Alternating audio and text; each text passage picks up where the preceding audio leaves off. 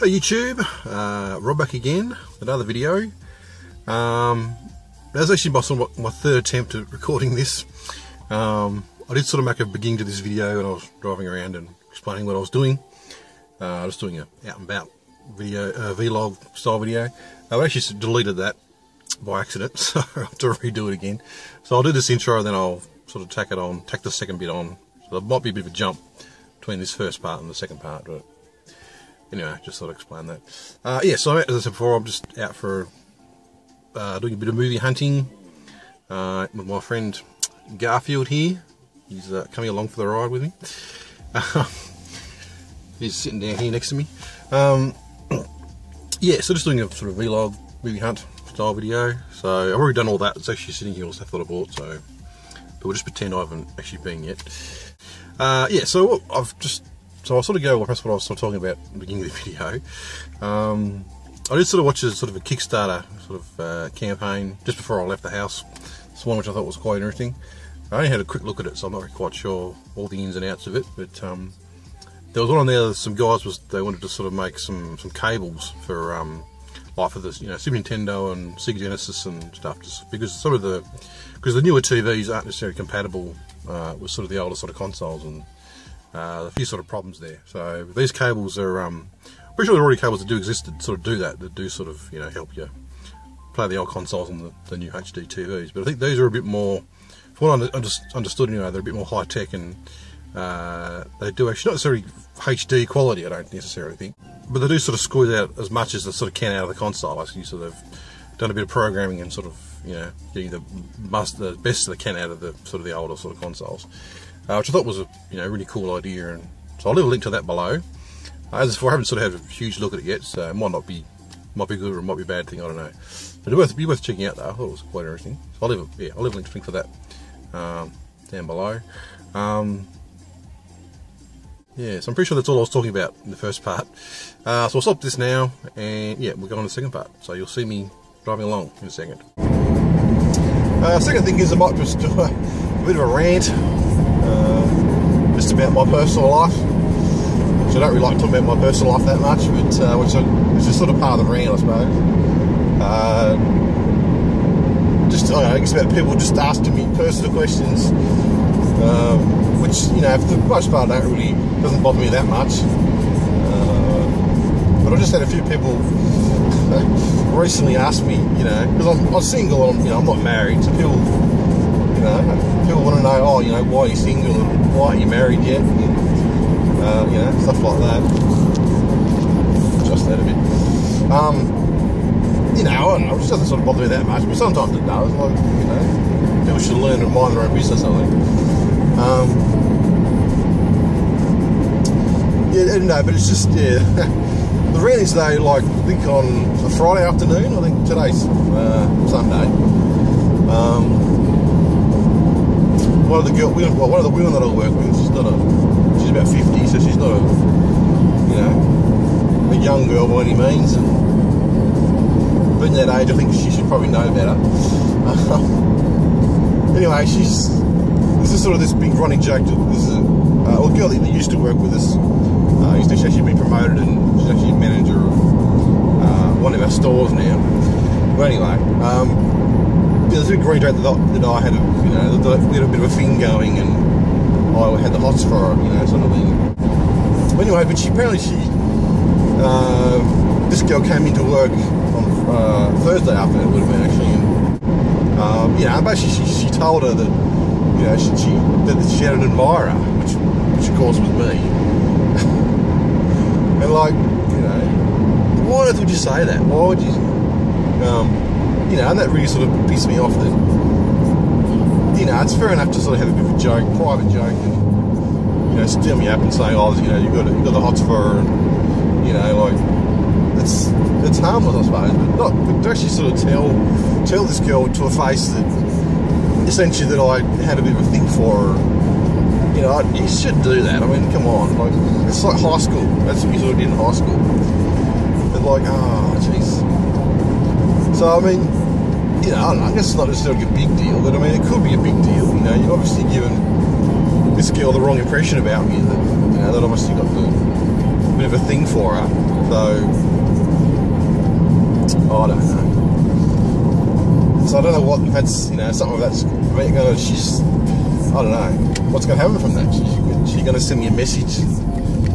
You know, thinks she's got you know you know that I might be interested in going with her or something. Um, you know, mate, she's a nice girl and you know, I'll be honest, I probably do check her out occasionally. She's not a, too bad looking, but um, you know, but I, end of the day, I've no real interest pursuing her, or you know what I mean. I have no, interest in sort of going there um, for a few different reasons. I won't just sort of go into the the reasons necessarily, but one of the reasons she has, she does actually have a boyfriend, and I've known a boyfriend for quite a while, and I've known him, you know, a long time before I even knew her. So you know, I'm not going to, you know, go out of my way to sort of steal someone, someone's girlfriend, you know what I mean? I wouldn't, you know, I would do that. I mean, come on. But I mean, I don't know, I just, I just, why, why would you sort of tell someone that, you know, that I had the hots for it when, you know, even if I did or didn't, I mean, it's up to me. I'm a big boy, I can,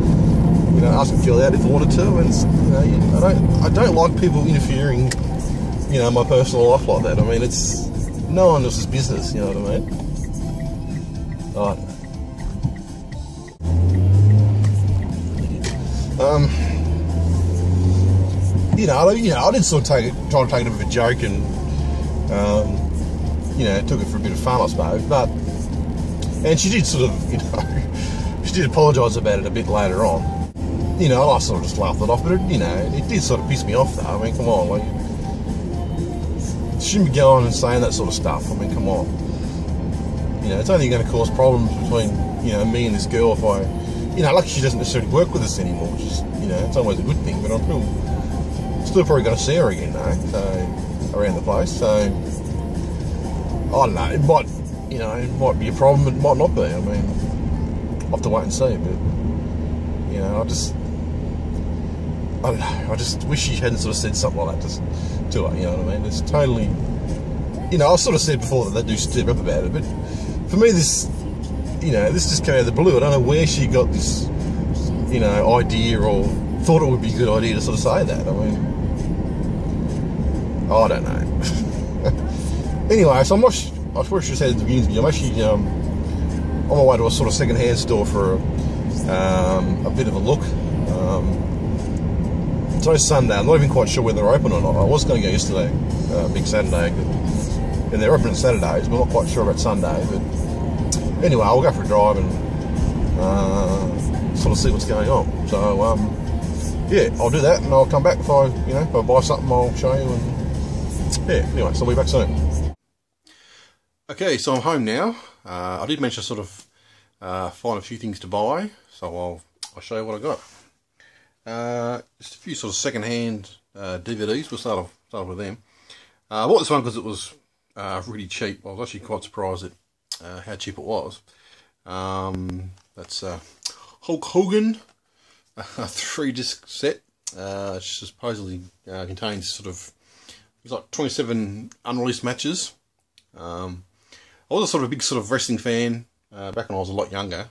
not so much these days. Uh, this is only like three dollars, and I think for a three disc set for three dollars, I really couldn't uh, pass that up.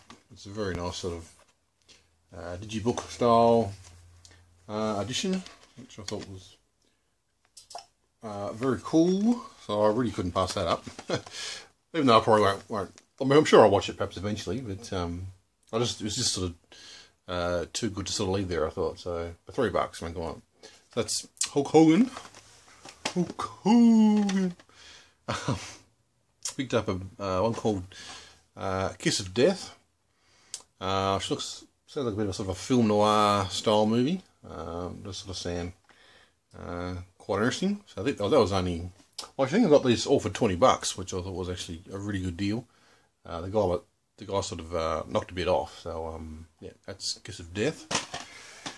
Um, for the one, I think from last year. This is only three dollars as well. I couldn't believe it. was quite cheap. I thought as well actually. Uh, Zero Dark Thirty, down from was it 30 40 dollars originally. I got it for three. That's um, you know quite a bargain.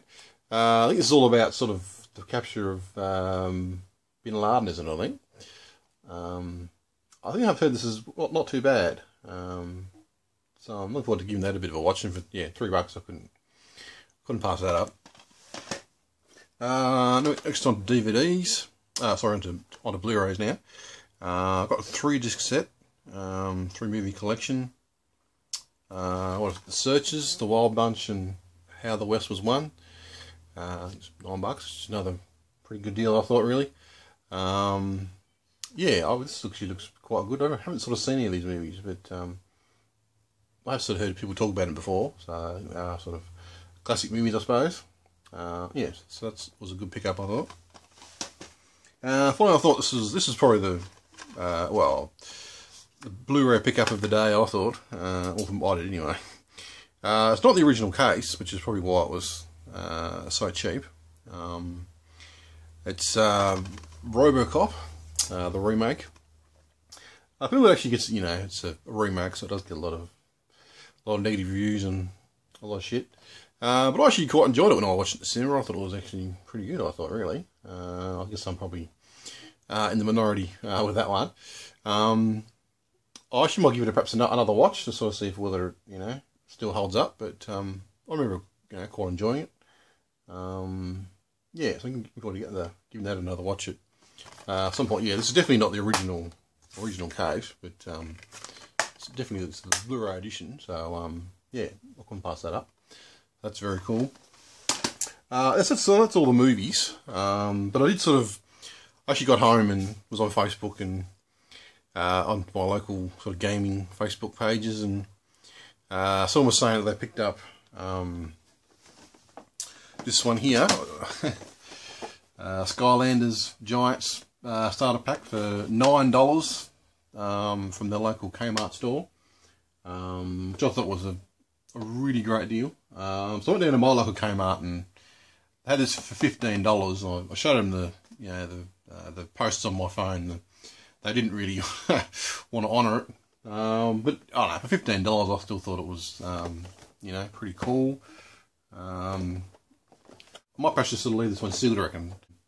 Only fifteen dollars, so I really couldn't pass that up, and um, just you know, another sort of thing to add to my uh, Wii U collection or gaming collection.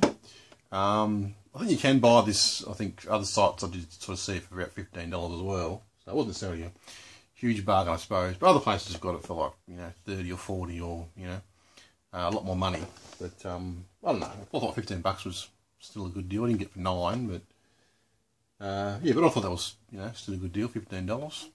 Uh, so that's my game pick up as well. Uh, yeah, so that's my little video, sort of a vlog, rant, pickup, movie pickup and game pickup uh, style video, whatever you want to call it. Uh, yeah, thanks for watching, and yeah, I'll see you very soon. Bye.